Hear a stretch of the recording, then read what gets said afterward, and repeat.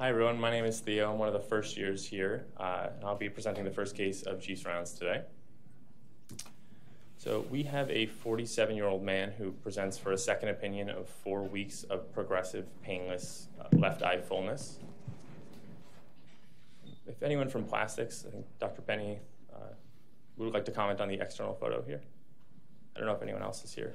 So I, yeah, I mean, I can comment. This is my case, just, uh, but since there's no one else here. So he came in, you see fullness proptosis of the, the uh, left eye, um, you know, a little fuller superiorly, but, um, and, um, yeah, I think that's, that's Yeah. it.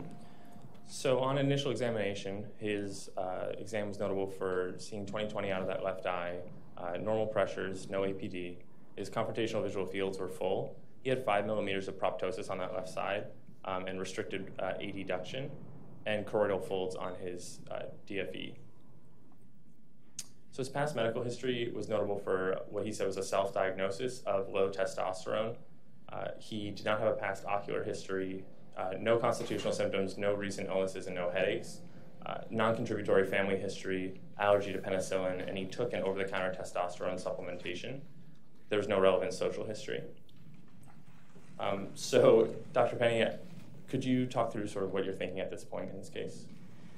So, you know, if it's really four weeks of um, proptosis versus noticed four weeks ago, which is always kind of the thing that you have to think about. I mean, obviously, unilateral proptosis in a, an adult thyroid is the most common thing. He didn't have any lid retraction, so I think that would um, make that less uh, less likely, but not impossible. Um, you know, and then you start to think about um, inflammatory things. Well, he didn't really look inflamed. Um, it didn't look uh, like something that was infectious. Um, and then uh, you can think of masses, uh, anywhere from uh, benign uh, things to something malignant. Now, the thing that's a little different here is you said he has choroidal folds, and, and um, for that amount of proptosis, which didn't it was it was notable but not huge. Um, you know, it's a little bit unusual for you to see um, choroidal folds unless you know there's something growing that's aggressive, pushing the eye uh, from behind. Um, so I mean, you start to think, you know, malignant. Could it be? Um, I mean, metastatic? Could it be just a, a, primary malignancy? I mean, I think we have to see where it is on imaging uh, to get a better, better idea. Bob, do you ever see choroidal folds in thyroid disease? Uh, yes, you do. Rarely, but you definitely do. But again, just looking at this, I mean, I didn't see his, moti- or his motility was pretty full. Um, I mean, just a little bit. It, usually, you have a pretty inflamed, tight orbit to, to see choroidal folds. You can see choroidal folds with tumors that are right up against the back of the eye. When it flattens the back of the eye, then you're going to see choroidal folds. Yeah, I if mean, there's a, I've- a mass way deep in the orbit, you might not see it. Um, yeah, I mean, I've even seen it with benign like cavernous hemangiomas, but I think more of you know something uh, that's that's a little more aggressively growing. So at the time of presentation, the patient had had a MRI and a CT done uh, outside provider. So first, we'll look at the differential diagnosis at the time. I think we've touched on uh, everything here, categorizing it as inflammatory, neoplastic, or vascular. Uh, the here's an image from the MRI. Dr. Penne, do you care to comment? So you can see this sort of not so well defined mass, and then it has you know different kind of loculated areas. Some um, you know a little bit lighting up, others uh, more less so. So multiple different kind of little compartments in, in that area. Almost looks like a. Sorry. Can you come, please? Oh.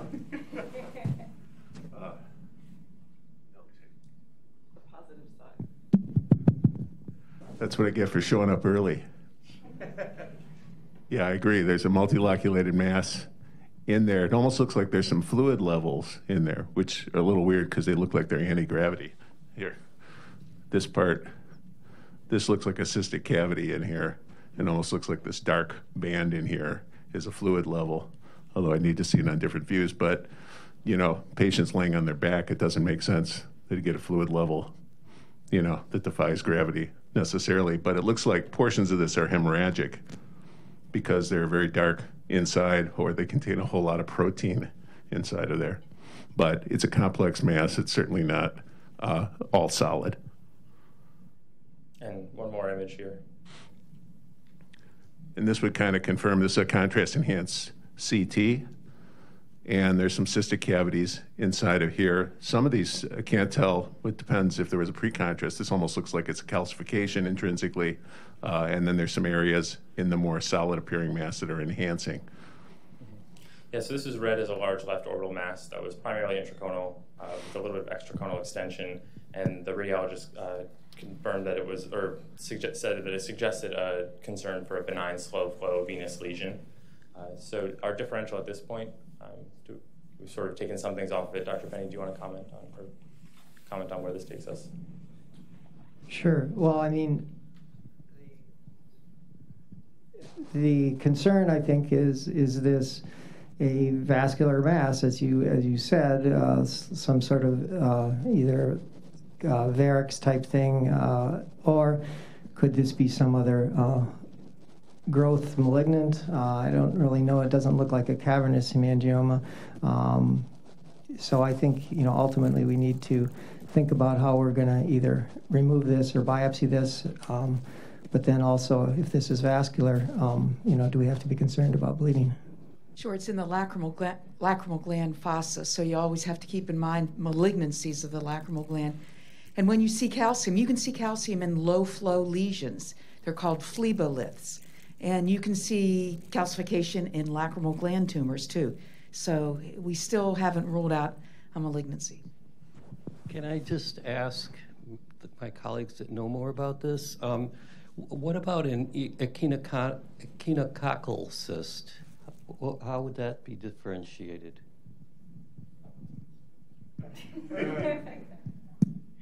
I guess that was directed to me. Well, I'd have to plead ignorance to that because I've never seen one, not even in a book. So, I, and I think the, I mean, so some of the other things we talked about, uh, obviously things like thyroid, um, inflammatory. I mean, we're, we've kind of eliminated this to, you know, something either uh, lacrimal gland, malignant, um, benign vascular type uh, lesion. I think is what we're thinking. Yeah, and so exactly as we sort of discussed, some neoplastic uh, still there on the differential, but also concern for a vascular lesion. So, um, thoughts on the next step? Uh, may I ask a question, Dr. Shields? Um, lymphoproliferative lesions uh, in the orbit, do they induce choroidal folds just, you know, for education yeah. purposes? If they're directly behind the globe and flattening the back of the globe, they can. Most lymphoid tumors are pretty much anterior in the orbit, and they are generally extraconal. They can be intraconal, and they don't produce choroidal folds. And, and, we always kind of think that they, as you said, mold. You, Carol, do you think that the more aggressive, the more sort of, shall we say, malignant something is, the more chance it would create choroidal folds if it's sitting against the eye? Is that? Possibly, possibly. The other thing on your CT scan, it looked like the bone was kind of molded around this, more suggestive of chronicity rather than eaten away, which would suggest malignancy. Thank you, Dr. Schutz. Okay. Uh, so, Dr. Penne, thoughts on next steps in management of this patient um, at this point in the case? Yeah, so we, we were really thinking that this was some sort of vascular lesion that's, you know, in reviewing the imaging and such. So, and we were concerned, or I was concerned that I was going to get in there and, you know, have bleeding I couldn't control. So we decided to have uh, them see uh, neurosurgery to try to do something to close off any vascular uh, channels uh, first. So the patient was initially evaluated uh, by neurosurgery telemedically. He then followed up for a diagnostic cerebral angiogram, which characterized it as not being a high flow vascular lesion.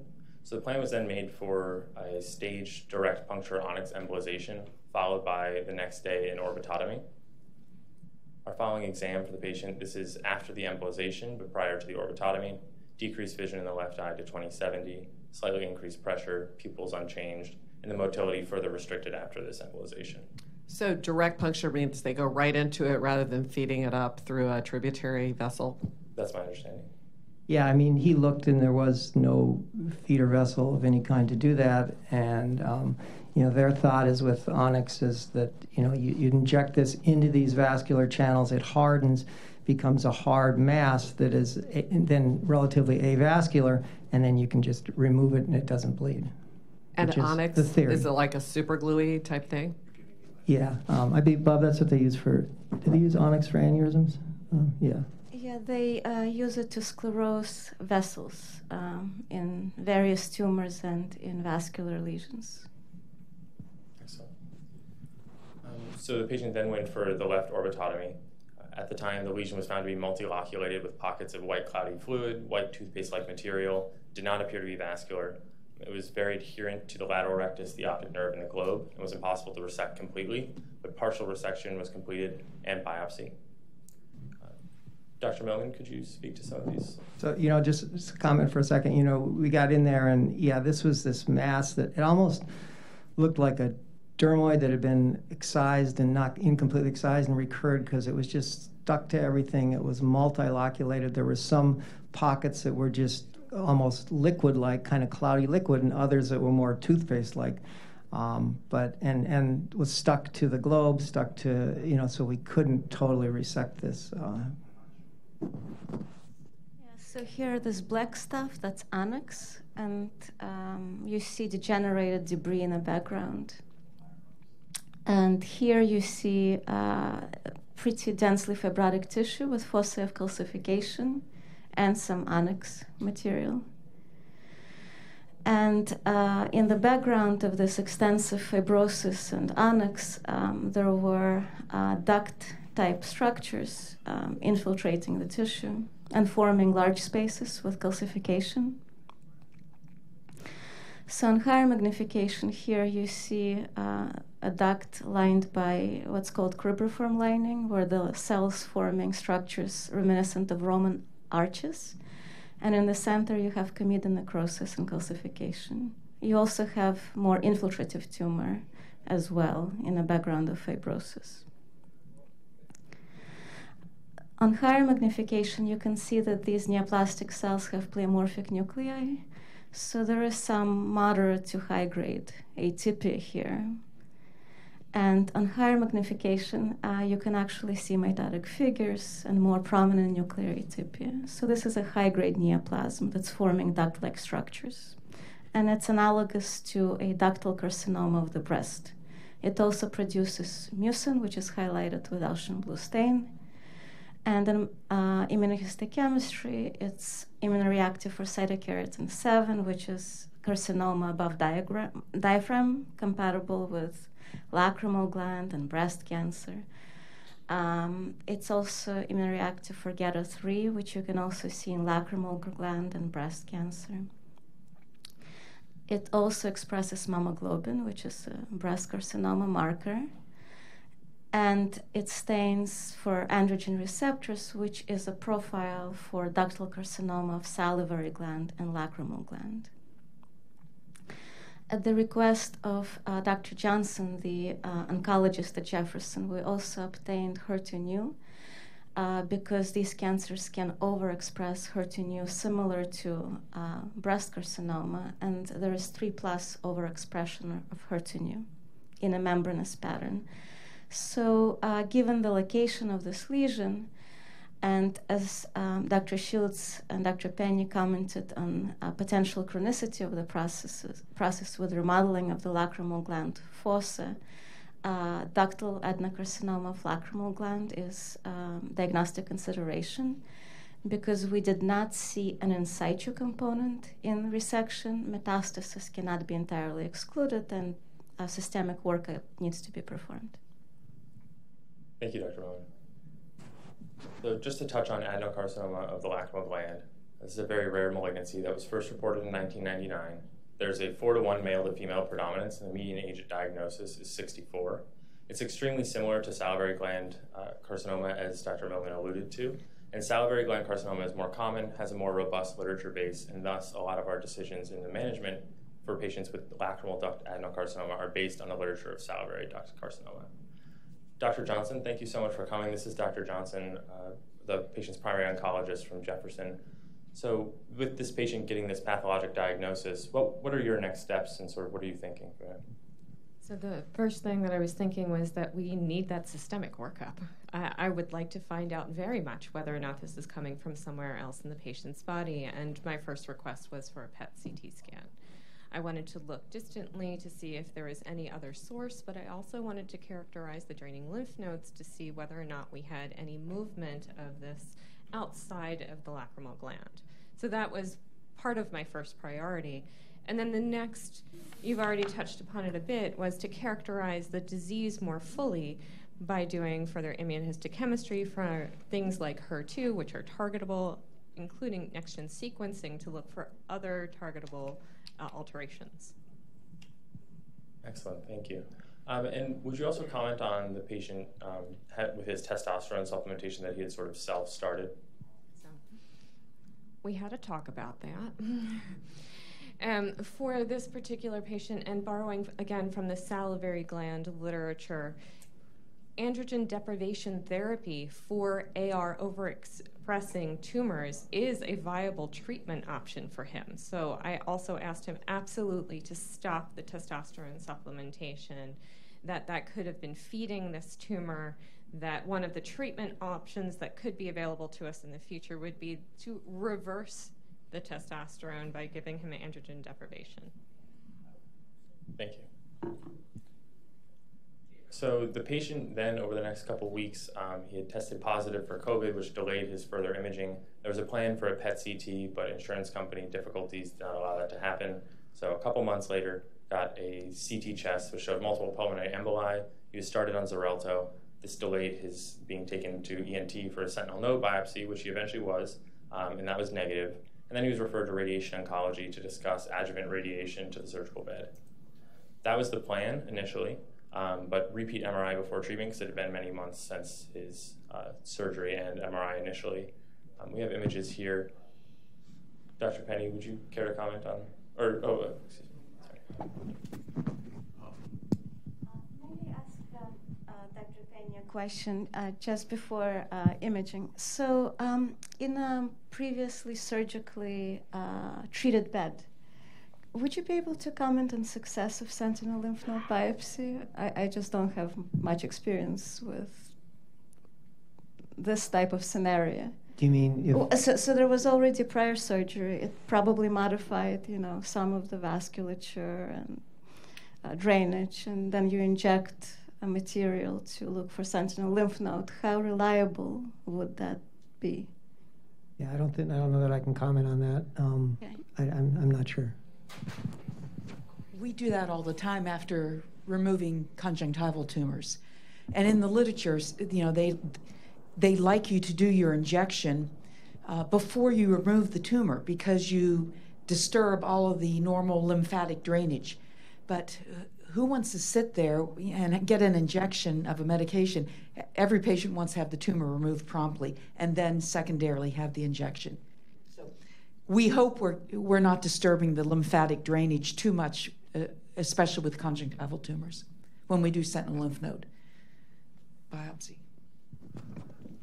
Well, this is a coronal T2 weighted image right through the, the globe, and it looks like we have recurrent mass here on the le- on the left side, and it's the matrix is low in signal on the T2 weighted images, which implies it has cellular characteristics. So, uh, based on this one image alone, I'd be worried there's there's tumors still there, or one, come back. One more image. Uh, hmm.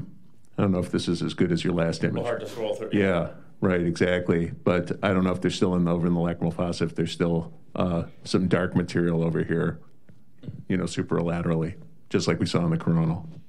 You know, and I can say I took, I mean, I thought I fairly well debulked this without, but, you know, one, you always think you remove more than you did, but this is how many, is a couple months after? Couple months. So certainly I think it's, you know, there's more there than I left there when we got done, so. So due to this sort of exactly as you touched on, Dr. Penne, some component of residual but likely re- recurrent as well. Um, the patient un- elected to undergo orbital exenteration. The exenteration was carried out without difficulty, and all margins were free from tumor cell. So the patient uh, was referred to radiation oncology and began plans for radiation to the surgical bed. So I'll touch on this in a moment, but Dr. Johnson, uh, these patients who come and don't have any evidence of metastatic disease, Uh, lacrimal ductal adenocarcinoma does have a risk of eventual metastases developing. What are your thoughts on surveillance for this patient going forward now that he's currently no diagnosis of metastatic disease and undergoing radiation? He also had a few other complications in the middle of all of this. So he had his COVID diagnosis. So he also already had abnormal chest radiography that needs a follow up. Beyond that, however, um, my thoughts in general are to surveil them for local recurrence and distant recurrence both.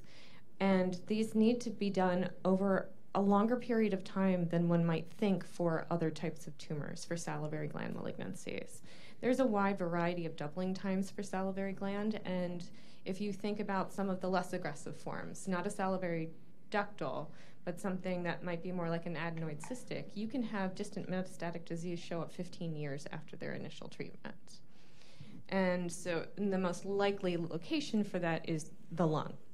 So his surveillance is going to require MRI or look around the orbit, and then it's also going to require CT chest. Do I have any strict guidelines on how frequently that should happen?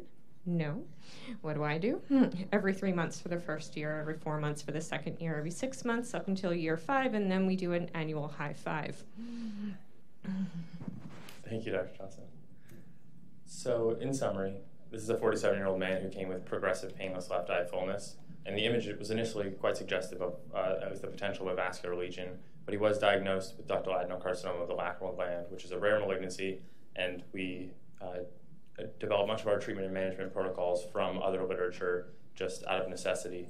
He's now status post exenteration and undergoing adjuvant radiotherapy. So our pathology and oncology group actually uh, reported one of the earliest cases of lacrimal gland ductal adenocarcinoma, and the neoplasm subsequently has been characterized largely in just case reports and literature reviews, as we've alluded to. Um, it's extremely rare, and it's very similar to salivary duct carcinoma, as we've touched on. So that's the literature that really contributes to the management of these patients.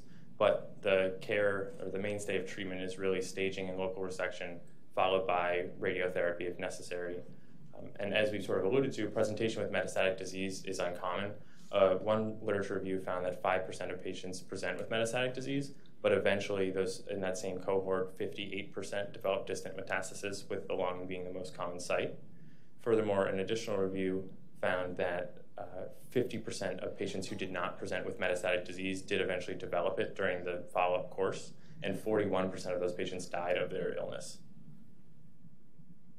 As we've touched on a little bit, um, like salivary gland carcinoma and ductal carcinoma of the breast, lacrimal ductal adenocarcinoma frequently has an amplification of HER2, which is a proto oncogene, and trastuzumab is a monoclonal antibody that targets this amplification.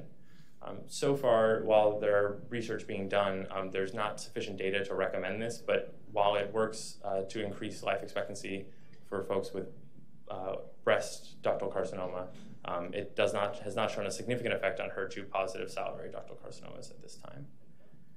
And then finally, to another point that Dr. Johnson has already touched on, um, this is a phase two study that was published in 2018 that suggests that androgen deprivation therapy is a viable option for treatment of these malignancies of the salivary gland carcinoma variety, but this has been extrapolated to the lacrimal gland as well and might play a role in our patient's future if he uh, develops metastatic disease. So I'd like to thank Dr. Penne, Dr. Milman, and Dr. Johnson for all their help with the presentation, all of my co-residents for their help with the presentation, and everyone who contributed today. And here are my references.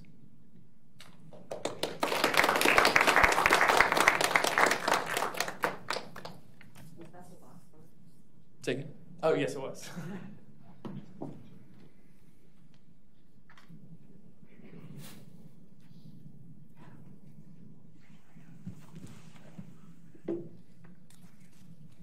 Your eyes, you look really short. Should have worn heels. All right. Good morning. My name is Sarah Amanullah. I'm one of the second year residents. I'll be presenting today's second case. This is a 20 year old female who was referred to the Wills ER with one week of blurry vision and pain with movement of the left eye. Past medical history is significant for asthma. She had no surgical or ocular history. She takes an oral contraceptive, PRN, ibuprofen. Social history is insignificant. She has no pertinent family history. Her review of systems is um, pertinent for a headache, one week preceding her blurry vision and eye pain. Otherwise, she had no fevers, chills, no abdominal symptoms, no other neurologic symptoms. Initial exam revealed 20/20 vision in both eyes. Her right eye was briskly reactive, her left pupil was sluggish with a 1 plus relative afferent pupillary defect. Pressures were normal in both eyes, confrontation visual fields were full to counting fingers. Her motility was full but noted to be painful. Her color plates were also full, but she did note an 80% red desaturation of the left eye. Her slit lamp exam of the anterior segment was normal. So then we looked to the posterior segment. Dr. Sergott, what did we see here when we looked at her nerve?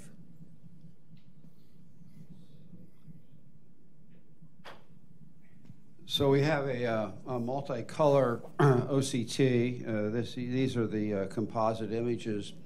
Uh, the right nerve is normal. This is a normal reflectance off the internal limiting membrane. And here you can see she has marked uh, disc edema. And there's some vascular changes here uh, that may be secondary to this optic disc congestion. this is how multicolor works. This is what we see with our ophthalmoscopes. This is white light. This has a wavelength of about 400 nanometers. Here we're actually doing tomograms uh, with light. Blue light, uh, uh, the wavelength here is about 486, green 518, and infrared longer, around 815 or so. And so now we're going to get images in very precise areas through the retina, uh, right where the blood vessels are located, all the way down here. Uh, so it's uh, a much better image than what we see traditionally here uh, with uh, white light ophthalmoscopy. Here are the patient's reflectance images. so th these are normal. This is uh, infrared, deep retina, and optic nerve, uh, green and blue. And here you can see the edema actually extend, extends into the deep retina and also is full thickness uh, through the entire area. Thank you. So at this point, we have a 20 year old woman with an APD and pain with eye movement. Uh, Dr. Thornton, if we called you from the ER, what would your uh, next step be? I would recommend an MRI of the brain and orbits. That's exactly what um, the patient underwent. Dr. Flanders, could you walk us through these cuts? Certainly. So this is an axial T1 weighted image of uh, a lot of the brain and, of course, the orbits, post contrast with fat suppression. And of course, we draw your attention to the left orbit. Um, there is a lot of enhancement going on involving uh, the entire, almost pretty much the entire length of the optic nerve, the intraorbital portion of the optic nerve extending into the optic canal. Um, in fact, if anything, it almost looks like the enhancement extends beyond the dural envelope and into the retrobulbar fat. You can see all this kind of reticulation around here that you don't see to the same degree in the right orbit. These are coronal T1 weighted images with contrast and fat suppression showing uh, here on the image on the right, you can see kind of the same thing where you see this kind of perineuritic component enhancing around and that it's extending into the intraorbital fat. And then you go a little further forward in the orbit and you can see the enhancement really involves the optic nerve as well. So we have uh, optic nerve involvement, and we have dural involvement, and we have perineuritic involvement. The image on the left is another post-contrast T1 image showing this. We're getting very close here to the optic canal, and the enhancement is extending into the canal itself. And then the image on the right is a T2 weighted image, just showing that there is um, pretty clear edema involving the intraorbital portion of the optic nerve. Uh, this is a FLAIR image on the right, just showing that there's no demyelinating lesions in the brain, and there's really no, uh, well, there's no diffusion problems as far as you can tell, but there is kind of what looks like restricted diffusivity the whole length of the optic nerve from the optic nerve head running pretty close to the optic canal. Adam, is that true on the other side too? oh, that I can see the nerve itself? No, the diffusivity you mentioned? Uh, you mean uh, involving the right optic nerve? Well, I think you can see this commonly. It's just this look. This kind of stood out as being uh, as being more extensive than it is on the right side. But you can see the optic nerve commonly if we catch it just in the right plane on a DWI image. And what does that tell you? Uh, it doesn't necessarily tell you much because the restriction, you know, because since all of the axons are running perpendicular, you know, to the plane of the image itself, it may just mean that we're looking at white matter, you know, compact white matter. But it doesn't. What does it tell us about the left nerve or the right nerve? Uh, the right nerve. Well, it's it is known that active demyelination in the brain can cause restricted diffusion on, on M, active MS lesions. Not all all the time, but sometimes you can actually see restricted diffusion. So I just thought it was kind of interesting if this was active demyelination in the la- in, in the nerve itself that you could see it, and that's been reported before on diffusion weighted images of the brain. Thank you, Dr. Flanders. So, in summary, at this point, we have a 20 year old female. She has new onset blurred vision.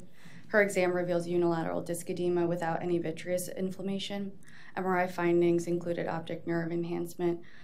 Dr. Thornton, at this point in your clinical decision making, what are you thinking in terms of next steps? Where is the disease process here? And in terms of inpatient versus outpatient management, what are you thinking? So, in this 20 year old girl with optic nerve enhancement and perineural enhancement as well, um, thinking about um, some atypical forms of optic neuritis, including anti-MOG. So I would want to get that lab test in the emergency room. We could also get NMO and some of the other labs we get for atypical causes of optic neuritis, like syphilis, Lyme, TB, etc. Um, and then when there's perineural enhancement, we sometimes also get IgG4 and ANCA. And I think because of the presence of the enhancement here, we would be planning to admit this patient and pulse her with IV steroids. Uh, Adam, can this be NMO? uh, well, I, I, guess some people might wonder if it was NMO only because how extensive the lesion is involving the whole length of the nerve. That usually is uh, gets people a little more excited. The perineuritic component is a little unusual, though, and uh, that's the that's the part that seems to be in the literature. They differentiate that with you can see that more commonly with MOG than you can with NMO or with just plain old optic neuritis. But uh, so it's more commonly, but it, it's not definitive. Yeah, nothing's definitive. I mean, I I, I took the liberty of looking at uh, a nice summary from last year in seminars that of ophthalmology that actually kind of showed the the tremendous variation in the literature about you know the proportion of these findings that you could see in those three groups, but they said the propensity of this stuff. Well, one thing that stood out is that perineuritic, perineuritic involvement and optic nerve involvement was clearly more common in MOG than e the other two entities. That was one of the few things that seemed to stand out more than anything else. The length of the lesion obviously is more common in MOG and NMO, but something like that where you have a something that involves pretty much the whole length of the nerve. So, you know, more and more, this is not just optic neuritis, and bam, we go right to the diagnosis of could this be remitting relapsing multiple sclerosis or what's called clinically isolated syndromes. And uh, from a very, very practical and important standpoint, we're approaching these cases as it's neuromyelitis optica spectrum disorder until proven otherwise, which is a, a arteritis, a vasculitis. Uh, and in MS, the inflammatory cells come out of the veins. It's a perivenular extravasation of lymphocytes. Uh, so the prognosis for NMO is uh, only one third of patients with NMO recover good vision. Um, so it's that's a, curve we have to change. Uh, so at this point, it's fairly late at night in the ER, and the contingency plan from our neuro-ophthalmology on call was that if there's unilateral enhancement, the patient was to follow up directly in clinic in the morning, and if there's bilateral enhancement or brain lesions, the patient would be directly admitted. Um, as we saw, there was unilateral enhancement, so the patient went to clinic the next day. Um, we already discussed these tests. Um, I'll also circle back and ask Dr. Thornton, do you think a lumbar puncture should be done in the Wills ER? I wouldn't do a lumbar puncture at this point. If I was concerned for an infectious process, I might consider doing that, but um, not yet. Uh, There's no emergency here to do a lumbar puncture. Uh, And then who's going to take responsibility uh, for the post-lumbar puncture headache or any other post-LP complications? Uh, So I don't s- sense a great urgency that this is going to change anything we do with this patient uh, at any time in the future. So the next morning, just a few hours later, the patient goes to the neuro-ophthalmology office. Her visual acuity has declined a few lines from 2020 to 2040. Her color plates have declined slightly from 8 out of 8 to 7.5 out of 8 and slower. She notices a, now a 60% red desaturation. Um, Dr. Thornton, what are you thinking now for her? This is before she was treated with steroids, is that right? Right. Okay. I think that she might need steroids now, but I mean, we could consider, usually if they're getting steroids and they're worsening at that point, we could consider doing a lumbar puncture. Um, but she hasn't been treated yet, so I would start there. Um, so before she gets admitted for IV steroids, she undergoes some other testing in neuro. You can see here, this is her right eye. Her fields were well done. Um, there are some scattered points of decreased sensitivity here in the right eye that don't really fit a known anatomic pattern. Dr. Sergott, do you make anything of these, this? Uh, No, this is uh, typical first field. Um, this is her left eye, the involved eye. The long, you can see here there's a very long testing time, six minutes. Um, so this is mostly artifact, and we opted for a Goldmann. Dr. Thornton, could you interpret this uh, Goldmann field for us? Um, it looks like there is a defect that's um, denser superiorly and nasally there, um, but she has good temporal um, peripheral vision. And here is her OCT. We already saw the multicolors from this day, but you can see here there's clearly um, edema in the in the left. Uh, Sarah, one of the important things here, though, is the asymptomatic eye Mhm. has a significant loss in the temporal quadrant and papillomacular bundle, implying that she may have had um, some subclinical disease on the other side. And you can see how thick her nerve fiber layer is. And beneath the nerve fiber layer, there's also edema as well. Here's the retinal ganglion cell layer isolated. Dr. Sergott, what do you think of Well, both again, of these sides? This is this is more normal here. There's fluid right in this area. But again, the retinal ganglion cell layer is decreased in the clinically unaffected eye, uh, and this is a significant global decrease. So she's had disease in the other eye. Uh, that's why I was asking Adam about the those other diffusion weighted images. Now, you know, years ago we would have said, oh, this is MS because she's had subclinical disease in the other eye. They would do a VEP and there'd be a delay in latency.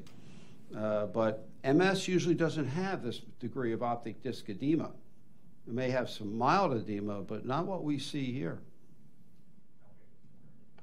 At this point um, in the office, proptosis was also noted clinically, and the MRI was re reviewed, and there was um, clearly orbital fat involvement that actually hadn't been commented on really in the first read. Um, so, as Dr. Thornton already mentioned, due to the decreased visual acuity, the field loss, um, the patient was admitted for IV methylprednisolone. Inpatient, uh, going through her vision and her color plates and her pain, you can see she improves every day, 2025, and full color plates on day two. Same on day three. On day two, an LP was performed. Here we have her OCTs from day one and day two. She still has edema, but there's clearly improvement here. I'll move to the multicolor. Dr. Sergott, could you describe these Yeah. for us? Wh- While the retinal nerve fiber layer improvement is mild, the multicolor improvement is very dramatic. Uh, we still don't have a central cup here, but you can see where the edema was. This is what uh, Ed Norton and Joel Glaser used to call a high watermark. Uh, and you can see where the edema extended to here, and now it's regressed. Also, notice the retinal vascular changes uh, have disappeared. See how much different the retinal inferior temporal retinal vein is here than it was up in here with these very unusual dilated areas, uh, which we're still not quite certain of the pathophysiology of that. So I think in summary, she has acute disease in one side, subclinical disease on the other.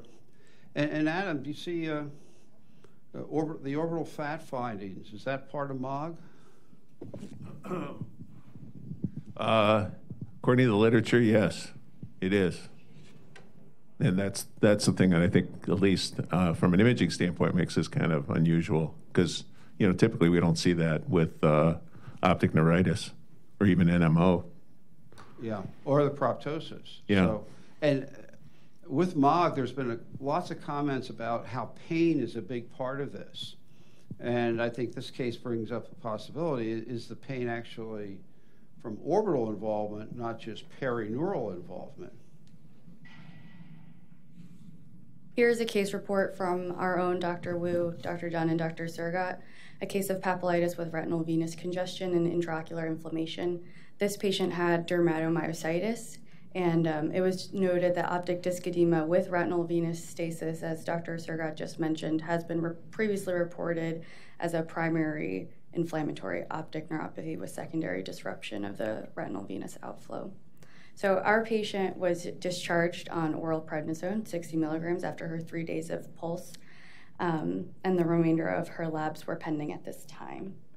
At her two-week follow-up, we finally get some results here, so you can see her anti-MOG is positive, her IgG and IgG4 is positive, and her ACE is positive. The remainder of her labs were all normal, and then her CSF was also positive for anti-MOG. Dr. Penne, does this look like IgG4 disease to you?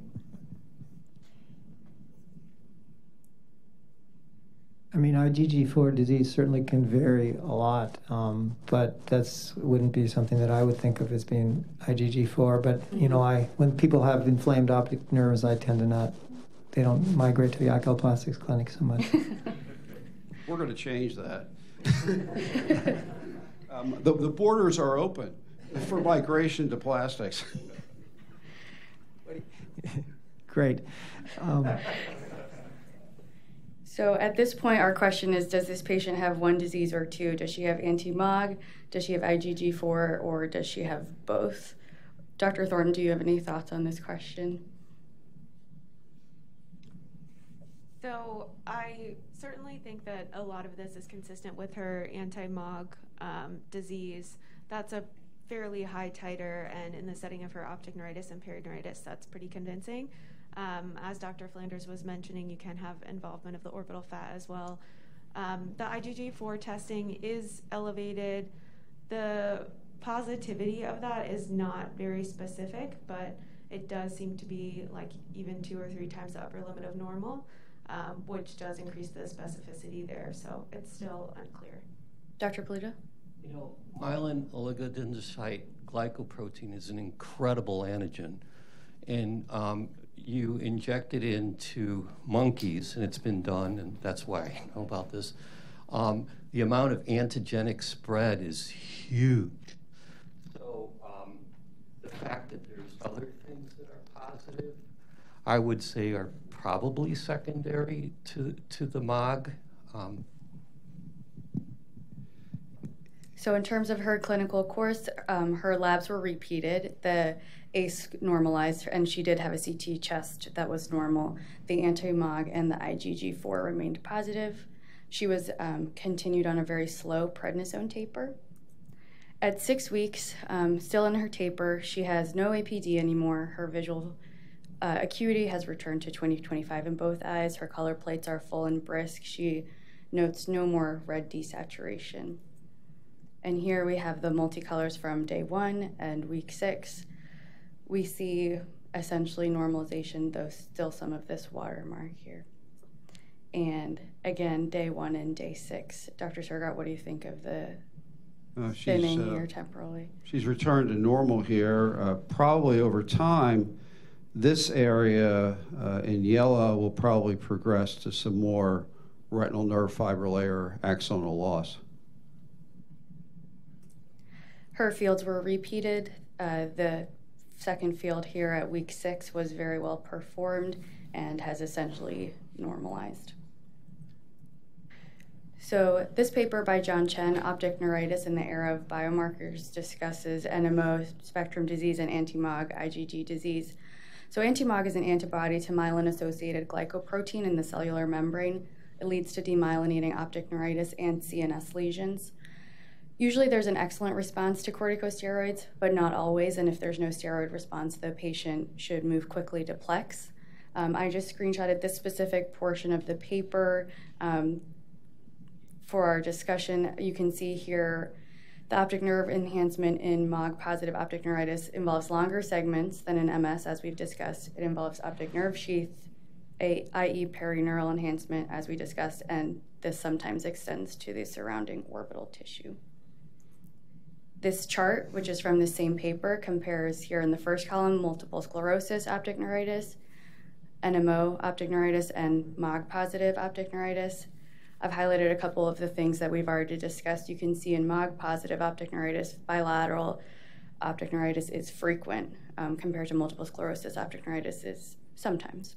The visual outcome for MOG and multiple sclerosis are both good, and as Dr. Sergott already mentioned, the vasculitic component of NMO leads to very poor outcome typically.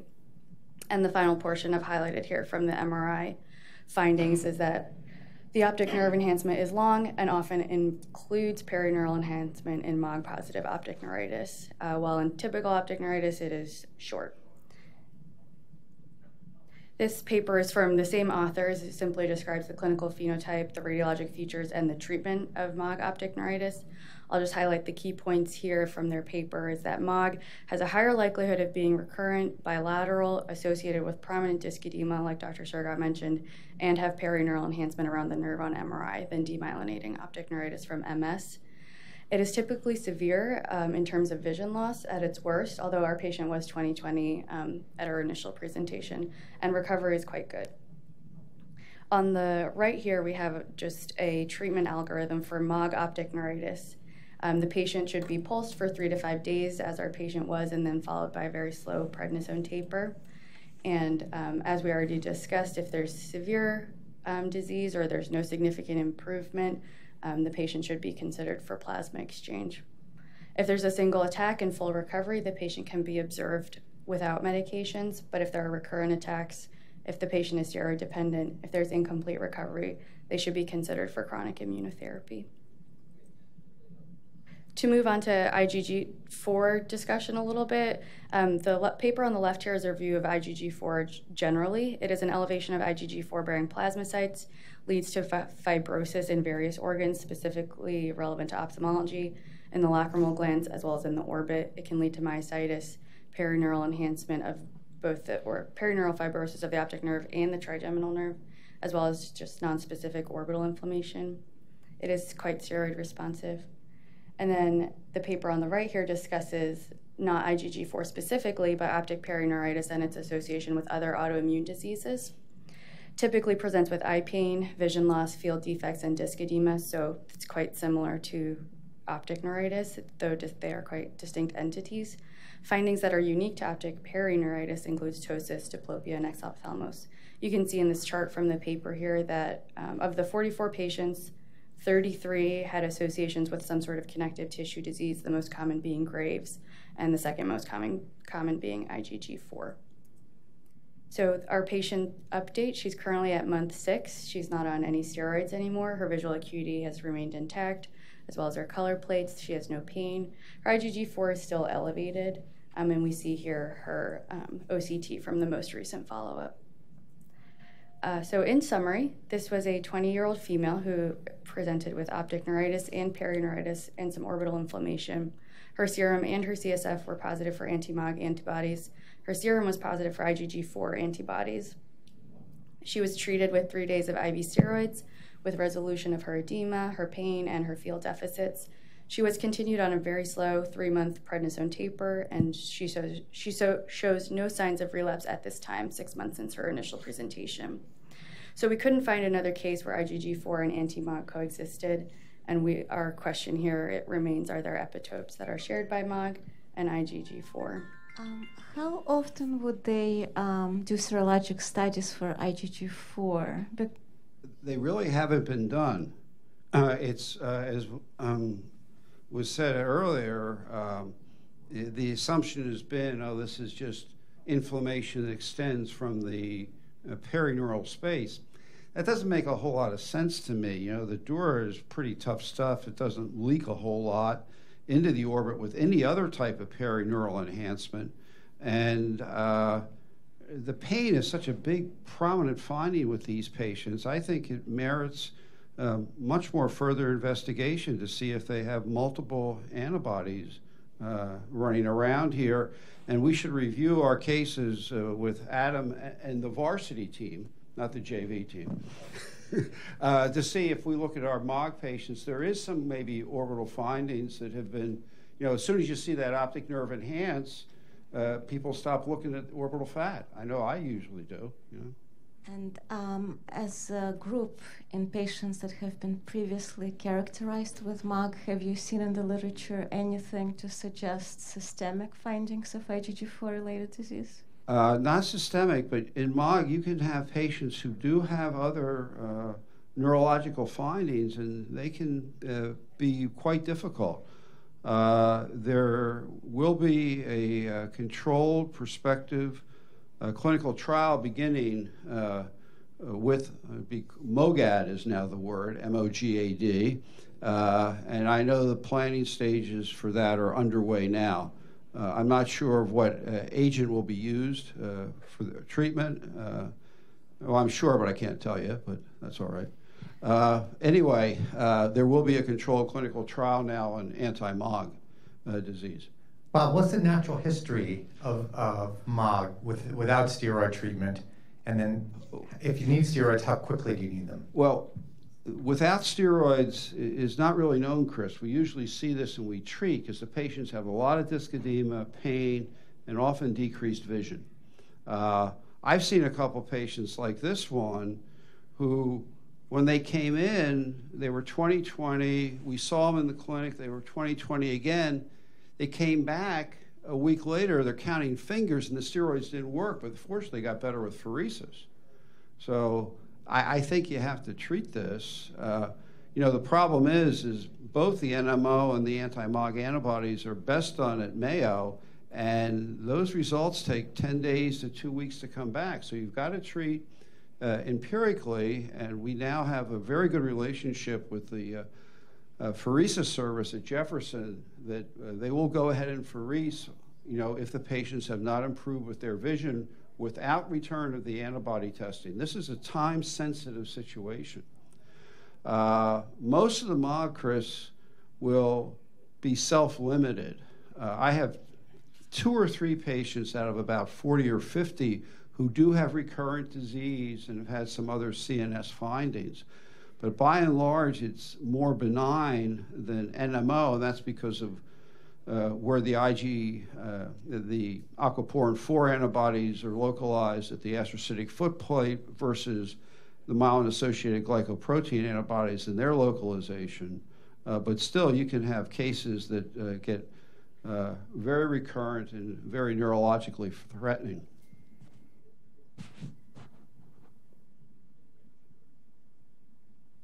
So this last slide is just an, uh, a graphic from this paper um, discussing a new spectrum of inflammatory demyelinating CNS lesions. So you can see here, there's the you know clinical suggestions of a demyelinating de, uh, CNS disease.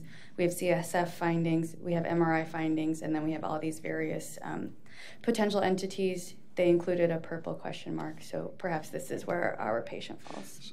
So the, the other thing is that in peripheral blood, uh, the NMO titers are more reliable than the CSF. So it, it, we don't want to start just saying, well, we're going to do the LP because we'll get the NMO titer there. Now, the peripheral blood titers are more uh, accurate and sensitive than CSF titers, which makes sense when you think about where the uh, antibody mediated reaction is in the, in the central nervous system and retina. Thank you so much, Dr. Sergott, Dr. Gervasio, Dr. Thornton, and Reggie for helping me put this presentation together. And thanks, Dr. Flanders, for coming and sending me the MRI cuts.